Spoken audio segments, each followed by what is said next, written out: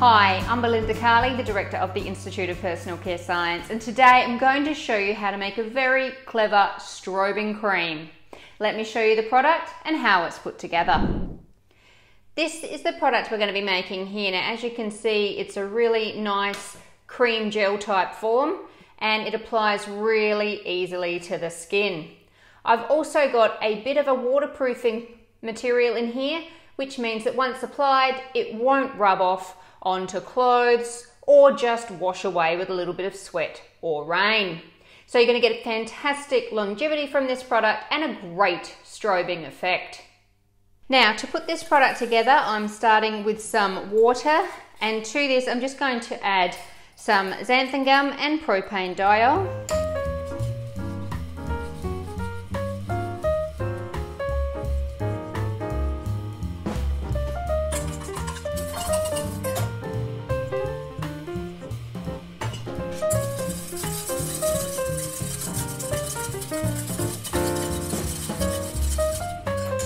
And next I'm going to prepare my oil phase. Now here I've got a couple of ingredients that are really important.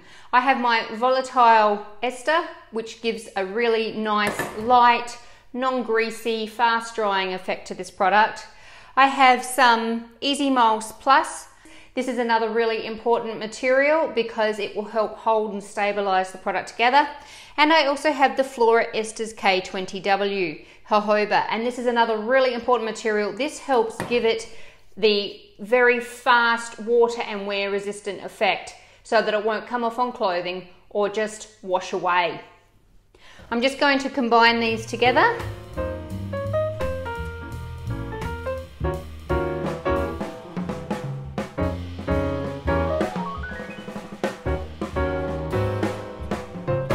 And then add this to my water phase.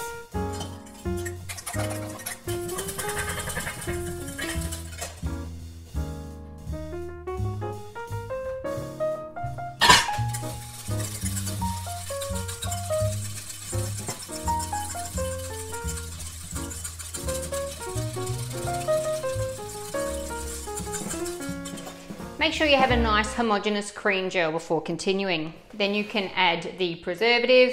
You can also add any other fragrance or essential oils you want at this stage. And then add your strobing material. Now I'm using Syncrystal Rose Opal by Eckart here. As you can see with this material, it's what's providing that amazing strobing effect.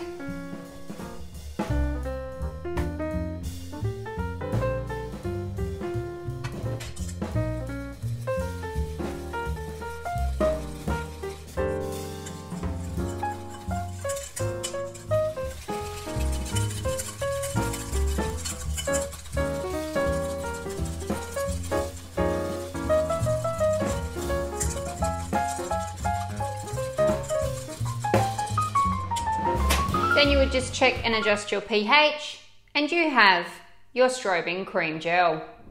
Just remember you need the right type of pigments to get this amazing strobing effect.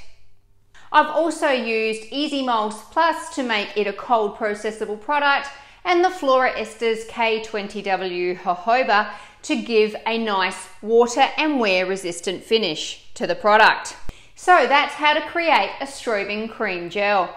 Please give the video a thumbs up. Please leave any questions or comments below and make sure you subscribe to receive notifications about all our videos. Happy formulating!